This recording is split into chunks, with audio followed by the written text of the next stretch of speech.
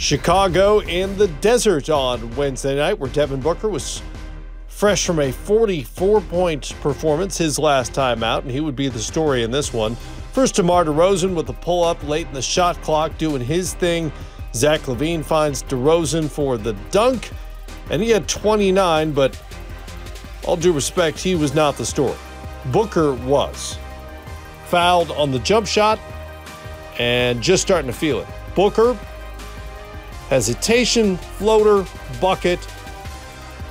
Second quarter, Deandre Ayton, Western Conference Player of the Week this week from Booker here.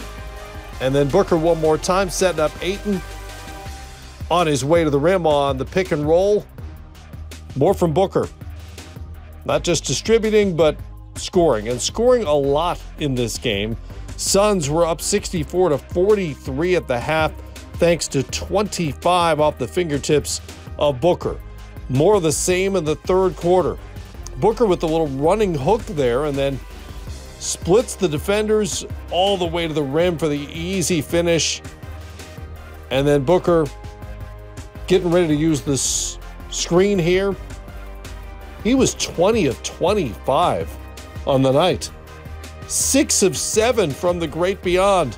Derrick Jones Jr. swats away the Mikal Bridges attempt on the other end. Alex Caruso, alley oop to Derrick Jones Jr. for the dunk. He's in airplane mode, as always, but Phoenix still up by 18 and Booker still cooking. The three and one. Pull up for another three. How about a little defense from Devin Booker? The steal, the slam on the other end.